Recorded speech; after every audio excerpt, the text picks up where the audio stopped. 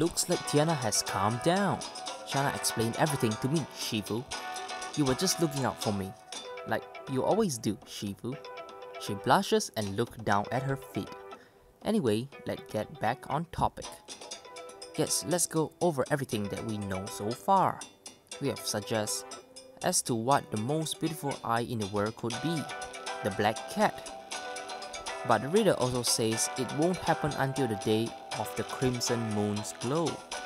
What could that possibly mean? It looks like a full moon tonight. But can the moon ever turn crimson? During an eclipse, if the conditions are right. When is the next lunar eclipse? On average, a total lunar eclipse occurs once every two and a half years. That's oddly specific. We actually just had a lunar eclipse about 3 months ago. Don't you guys remember? It was on the news. Well, since a lunar eclipse happened a few months ago, I guess we can rule that out. And most thieves won't announce a grand scheme two years in advance. Who's to say that the Black Cat would even still be here in the museum in two years? We have got to be missing something about the Crimson Moon. I feel like the word crimson is important. They specifically chose not to call it red. Well, there's a difference between red and crimson. For example, Tiana, I would say the stone in your necklace is crimson. Huh? You mean this? Tiana slides her golden necklace off her neck to show off the shimmering ruby hanging down from it.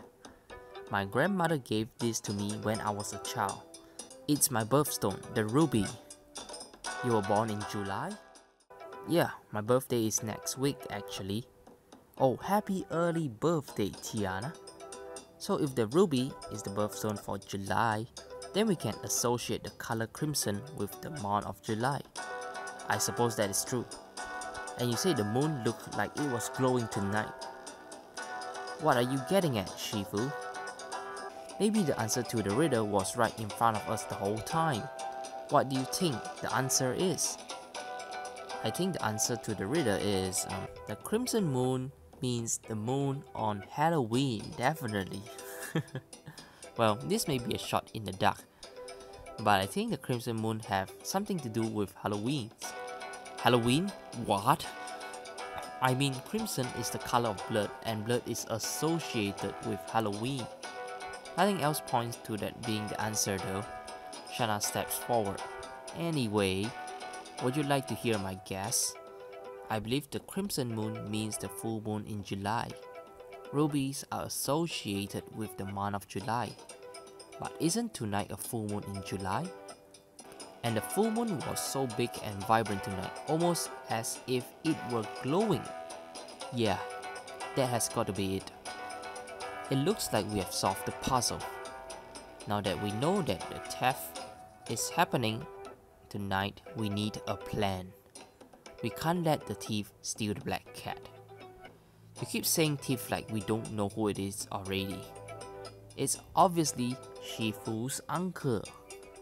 What do you think we should do? You are the police officer here, Rina. Just arrest him already. You have got handcuffs on you, right? I can't just arrest someone without a cause, you know. I could lose my job over that. Are you kidding me? Security here won't take us seriously until we find some evidence pointing straight to him. Not a second later, loud footsteps come stomping down the hallway. Shifu, Shifu, where are you? Shifu, come quick, something terrible has happened. I then see Uncle Joji sprinting around the corner towards us. When he reaches us, he has to stop and catch his breath as sweat pours down from his forehead. Shifu, it's terrible. The black cat, it's gone. What? Come on. He leads us back to the exhibit. The glass case that has once been holding it now, it's empty. It's really gone. Of course it's gone. This creep obviously snatched it up when we weren't looking. What? You think I stole it? Who else could it have been? You and Yuina are the only one in here, you know. She's right. But how did you manage to get into the case? Do you have a key? Stop accusing me. I know who took it. Who? It was Yuina. Hmm, interesting. Yuina stole the, the black cat? Nah, I don't believe that shit. what? I left her side for just a moment to take a call, and when I returned, I saw the black cat was missing, and Yuina was nowhere to be seen. I believe she wanted to take my family's fortune for herself. This raised a red flag. I don't believe what Uncle Joji said. So she staged the whole thing and took it all for herself. You can't expect me to believe my sister is a crook. You have done nothing but lie since we met you. Why would we even believe you now? Let's all calm down and just think for a moment. Joji-san, where do you think Yuina could have been? She probably tries to sneak out the back. This museum has an employee exit downstairs. And how do you know that? Yeah, I'm wondering how this guy knows the uh, geography of this building so accurately. I told you, I'm friend with the manager. Let's not waste any time and head there now. Follow me. Okay, sure. This place is creepy. We follow my uncle down the hallway until he leads us to the basement. The back entrance is just through here. Okay. He leads us down the stairs and towards a large metal door. It looks like some kind of a safe or even a vault. The exit is just through here. Alright. What? He opened a large metal door, but I can't see anything through the darkness. It's pitch black inside. Is this really an employee's exit? Before I can finish my sentence, I feel a rough hand shove me forward. Okay, things are bad with the music like this. I trip over my feet and crash against Rina who stumbles into Tiana. Shana soon shove forward too, and we all tumble to the ground in a tangled heap. Hey, what's the big idea? Okay, God, Joji is the bad guy. We confirm this. So long, idiots. Before I can jump up, he slams the door shut, trapping us inside a dark and closed chamber. What is the meaning of this? Let us out, you creep. I can hear a few metal clicks from the other side of the door. Uncle Joji, let us out this instant. I can hear his laughter from the other side of the door. I told you not to get in my way, Shifu. Although I'm sorry it had to come to this. What do you mean? My boss said I need to get rid of you meddling pests once and for all. What, you're gonna kill us? Who do you work for? He said it's payback for what you did at the church. Oh god. So, Father Edmund is the the evil boss? I can't believe we let this jerk trick us. Yeah, I cannot believe this Joji is pretty clever as well. We should never have trusted him. That museum will close all weekend, I'm afraid. The vault you're in is used for housing art that's not on display. It's a real tragedy, but I suppose that's what happened when headstrong teenagers tried to break into a museum. You'll never get away with this. Oh, but I've already had. Uncle Joji. You're pretty funny. Send my regards to your parents, Shifu. Oh my god, my parents will come and haunt you, Joji. I'm sure they can't wait to meet you again. The last thing we can hear is Uncle Joji loud maniac laughter. I can't believe him, that bastard deceivers.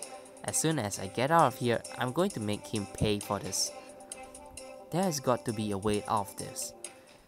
Okay, let's search uh, the wall because maybe there's a secret like button or door or something. Shifu. I hear Rina's shaky voice from behind me. Okay, now what? It's too dark to see anything, but I feel her hands nervously reach for mine. Shifu, I'm scared. Oh god, you're always scared. I hear her sniffing and I turn around to face her. I can barely make out her face, but I can tell she's crying. I should comfort her and let her know she's not alone. Definitely not if I know this will cost me gems which I don't have.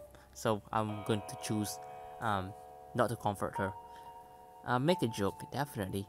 Even though it's hard to see, I fumble my way through the darkness until my hands falls onto her shoulder. It's going to be okay, Rina. I'm sure we'll find a way out of here. But, Shifu, let's try to find an exit. I know it's dark and the door is locked, but we can't just give up. You don't sound too convinced. Well, there are worse ways to die than by suffocation, like being eaten by zombies or something. Are you kidding me right now, Shifu? Now isn't time for jokes. I think I made her mad, oh god. I seldom see Rina um, getting mad. Alright, at least it sounds like she stopped crying. Hmm, that is at least the, I mean the least that I can do. Let's just put our heads together and think of a way out. Rina, don't you have a flashlight on you? Oh, I totally forgot about it. Oh god, this police officer. It's pretty lousy. no, I, I can't say it Rina because Rina is pretty uh, a cool girl I think. Jeez, what an airhead. Rina fumbles around for a moment before turning her flashlight on. Oh god, the, the sound effect, it almost freaks me out. Her light immediately shines on a figure lying motionlessly on the ground beside us. What is that? Is that a dead body? Yuina! Tiana rushed over to the young woman lying on the ground. Okay, what is Yuina being here? Yuina, are you okay? Oh, please don't be dead.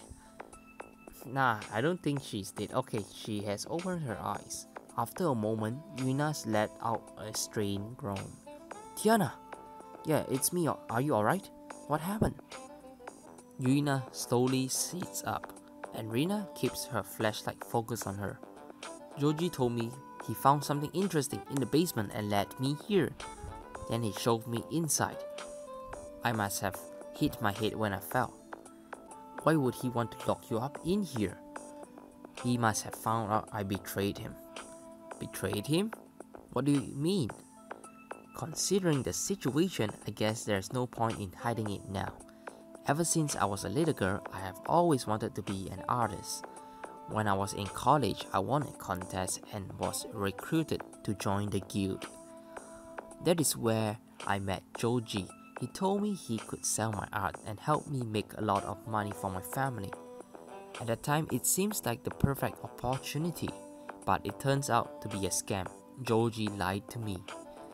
He had me create all these counterfeit paintings and he was selling them to this secret organization. Secret organization? Yeah, yeah, Father Edmund. He's a crook. They disguised themselves as a group for up and coming artists, but in reality, they are just a bunch of criminals. They sell counterfeits painting for ridiculously high prices to rich idiots. I tried to leave when I realized what Joji was doing with my art, but someone showed up at our house with a gun. They told me if I stopped painting, then tears starts to trickle down Yuna's pale cheek. So I had no choice. I left I ran away from home and went back to painting for Joji. Why didn't you go to the police? They would have killed you. I ended up moving in with Joji and followed him all over the world to different art shows and exhibits. I kept having to paint all these counterfeits every day. Oh, poor Yuina. We were eventually told to come back to the city, but I had planned my escape for a while. So you tried to get away from my uncle? I thought I could run away, change my identity, but Joji must have found my new passport. He knew I was planning on leaving, but I just couldn't take it anymore. He even had me scout talent artists at the college. So he wanted to have more artists create counterfeit paintings? How awful. They used a community church as one of their stores but someone burned that to the ground. They are scrambling to replace all the art they have lost back there. Hmm, interesting. It all makes sense now. Yeah, you know, we are the one who burned down the church. you didn't want the art club president, Toma, to suffer your fate. Oh, Yuina, I knew you weren't the villain here. Tiana throws her arms around her sister's neck, holding her tightly. I'm so sorry, Tiana. I never meant to get you caught up in this mess. All I ever want was for you to be safe. Joji must have sent you the letter to lure you here so he could trap you here with me. Don't worry, we'll teach him a lesson. Wait, the letter was written by Joji? Ah, interesting. I thought the letter was written by Yuna. Okay. Yes, now that we know the truth, we need to go to the police at once. We can't do it from in here. The walls are too thick for my radio. I'm sure we can find a way out. Yuna-san, can we ask you a few questions about the guild? Of course. At this point, I don't think there is any way to escape. Damn. Give me a few minutes with her, Shifu. Alright, take your time. Shana begins to ask Yuna some questions. Tiana gives them some space and instead come to stand by me. This is all thanks to you, Shifu. I was able to find out the truth. I couldn't have done it without you. Oh, Tiana. Before I can say anything else, she takes a step forward and grabs me by the collar of my shirt. She pulls me towards her roughly, crushing her lips against mine. Whoa, that is too quick, Tiana. Have you got no shame? Um, both of the girls are there, you know, just beside us. Or you're just kissing me. Okay, Tiana's kissing me now. What should I do? Um, back away. I'm sorry. I don't have gems. I place my head on Tiana's shoulder and lightly push her off of me. Tiana, what do you think you're doing? Huh? You didn't want me to kiss you? You're crazy. I didn't even send you a signal. I'm sorry. I thought you liked me. I'm um, sorry, Tiana. It's just that um, it's just not the time for it, okay? We'll talk later. I look around at our group. How are we going to get out of this one?